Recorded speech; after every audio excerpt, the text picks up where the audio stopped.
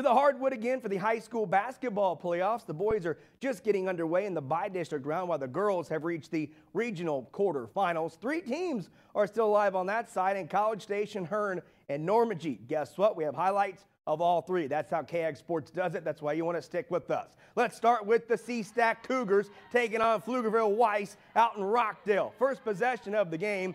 The one to watch is Reese Vivaldi. Nice pass to a cutting Jaden McMillan. She's going to put it up and in. Great start for the Lady Cougars, and it would continue. Moments later, coach is like, let's keep this thing going. Taylor Montgomery spinning, winning, turnaround jumper, nothing but the bottom of the net. College Station up 14 to 10. Then Puff Collins running the show. Drive, no look dish to Jaden Davenport.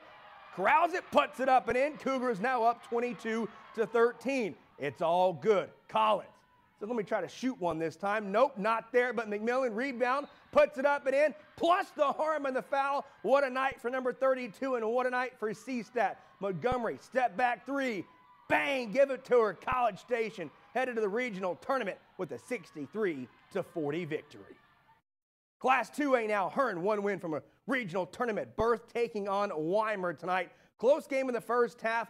Cross court pass, Ania Jackson to Michaela Dunn. Yes, man, from the three point corner pocket. Love to see it. Lady Eagles up by one at the break. Third quarter now. Hearne turn up the pressure.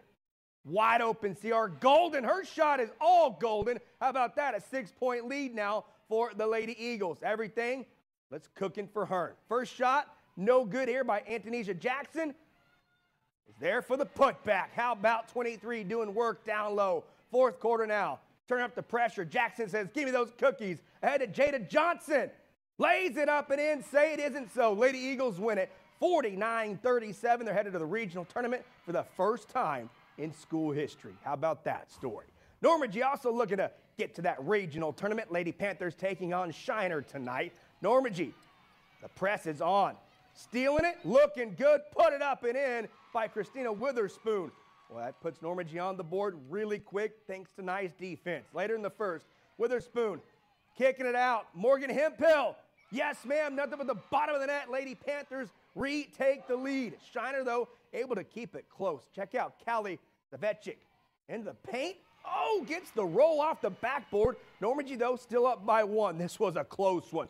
Then Briley Smith Gonna flip it up and put it up and in. Normangee, they led it by three after one, and they hang on to win it. We're all winners across the board in the Brazos Valley 54 to 40.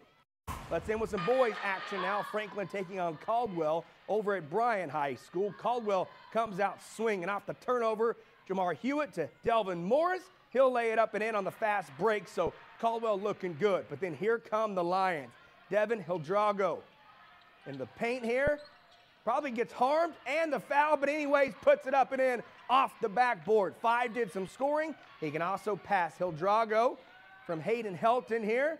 Gonna dish it off to Malcolm Murphy. Backdoor cut alert. Lays it up and in. Lions are coming in hot. Now, Helton, you saw him do some work passing the ball, this time down low off the Marcus Wade miss. Helton rebound. Strong man bucket. Franklin goes on to win it 55 250. For all tonight's scores, you know where to go, the sports page. We'll be right back.